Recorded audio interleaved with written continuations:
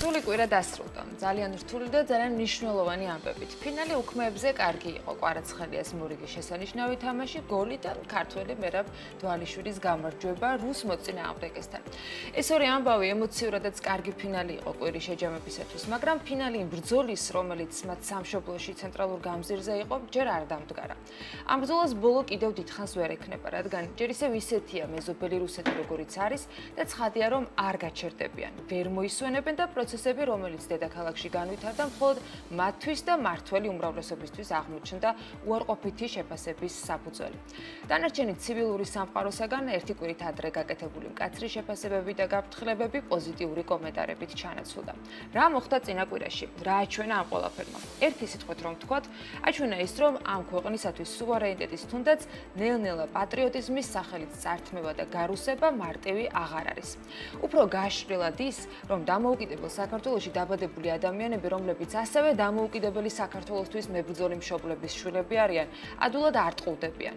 არც ერთი ხელისუფლების, ყოფილი ხელისუფლების თუ ჭრელ-ჭრელი ოპოზიციის მხრიდან. რა ვიცით გასული კვირის და ისტორიის გამოცდილებიდან. ის რომ ეს პროცესი ამით არ სრულდება. ის რომ ბევრი მცდელობა იქნება მსგავსი მავნებლობის. ის რომ მავნებლები შეეცდებიან თავი გაიმართლონ, არარსებული რეალობად დაგვანახონ. აგე პრემიერმა ამის საუკეთესო მაგალითი გვაჩვენა სულ რამდენიმე საათის წინ.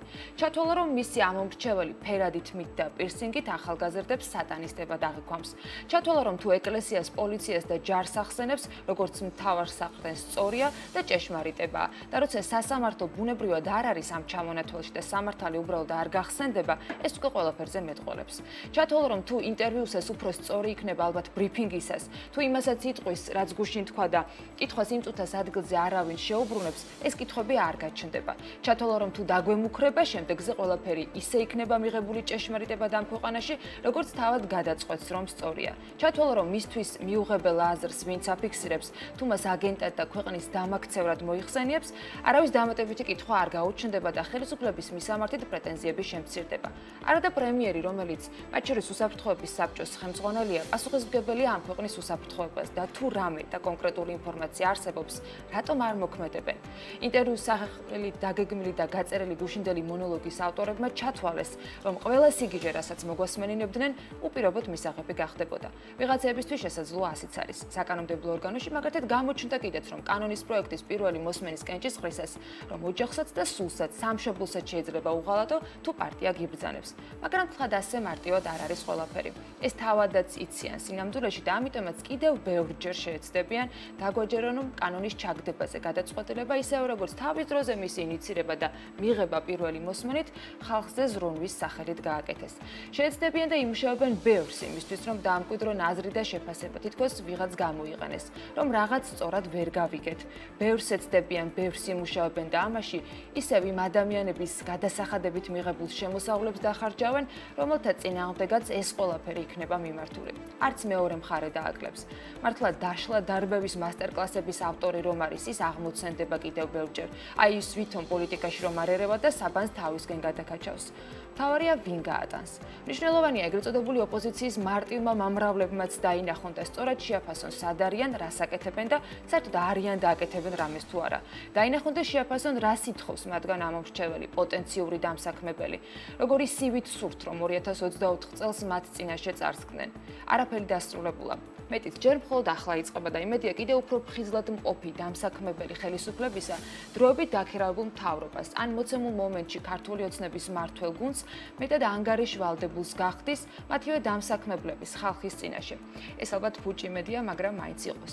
შემდეგ მათი მეტი ადამიანი შეაფასებს ნამუშევარს. ან უფრო მეტი მივა არჩევნებზე და ყველა ვინც საარჩევნო ურნამდე მივა გააკეთებს არჩევანს. ვისაც როგორი უნდა, ვისაც რა მიაჩნია სწორად, მაგრამ თავარია მეტი ადამიანი მივიდა ეს არჩევნებზე. მნიშვნელოვანია ის ადამიანები, ვინც დამსახურებულად მიიღო მადლობა რუსთაველის გამზირზე პოზიციის დაცვისათვის, დაუღალავად საპროტესტო აქციებზე დგომისას, ისინიც მივიდნენ. არჩევანი გააკეთონ მათაც, ვინც ამ აქციებზე ამ კონკრეტულ საკითხთან დაკავშირებით ამ ადამიანების აზრს არ იზიარებდნენ. მათაც, ვინც დღემდე სვამს კითხვას, რა კანონზეა საუბარი, რა აქციები იყო.